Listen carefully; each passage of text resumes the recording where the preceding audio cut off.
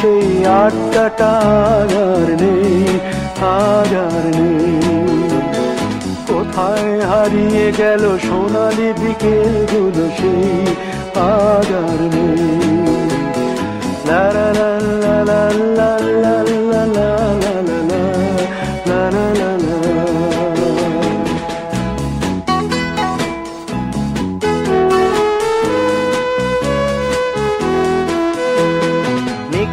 নিখিলেশ প্যারিসে, মইদুল ঢাকাতে নেই তারা আজ কোনো খবরে। গ্র্যান্ডের গিটারিস্ট গোয়ানিজ ডিসুদা ঘুমিয়ে আছে যে আজ কবরে।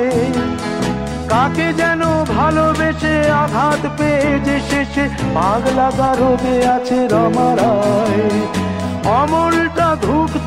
দুরন্ত ক্যান্সারে জীবন করেনি তাকে ক্ষমা কফি হাউসের সেই আড্ডাটা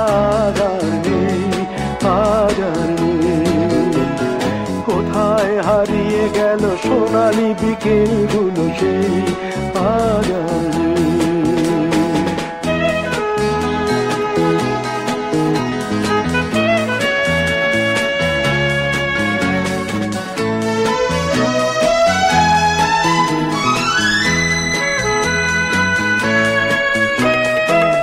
সুজাতাই আজ শুধু সব যে সুখে আছে, শুনেছি তো লাখপতি স্বামীদার। হিরে আর জহরতে আগা গোড়া মোড়া সে গাড়ি বাড়ি সব কিছু দামি তার আর্ট কলেজের ছেলে নিখিলে সান্নাল বিজ্ঞাপনের ছবি আঁকতো আর চোখ ভরা কথা নিয়ে নির্বাক, শ্রোতা হয়ে ডিসুজাটা বসে শুধু থাকতো। কফি হাউসের সেই আড্ডাটা আর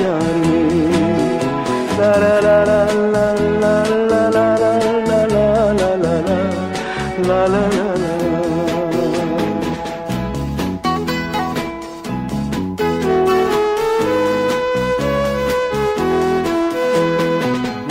একটা টেবিলে সেই তিন চার ঘণ্টা, চার মিনার ঠোঁটে জ্বলতো। কখনো বিষ্ণু দে কখনো যামিনী রায়, এই নিয়ে তর্কটা চলতো। রোদ, ঝড়, বৃষ্টিতে যেখানেই যে থাকুক, কাজ সেরে ঠিক এসে জুটতাম চারটেতে শুরু করে জমিয়ে আড্ডা মেরে সাড়ে সাতটায় ঠিক উঠতাম। কফি হাউসের সেই আড্ডাটা আর নেই আর নেই। লা।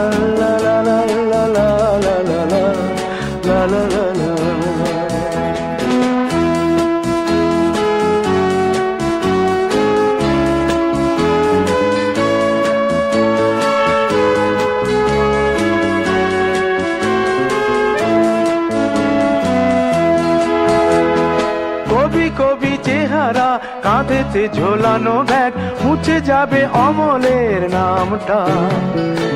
একটা কবিতা তার হলো না কোথাও, ছাপা পেল না সে প্রতিভার দামটা। অফিসের সোশ্যালে ম্যামে চার নাটকে রমারায় অভিনয় করতো।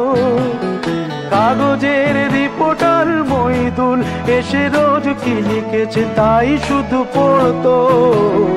কফি হাউসে সেই আড্ডাটা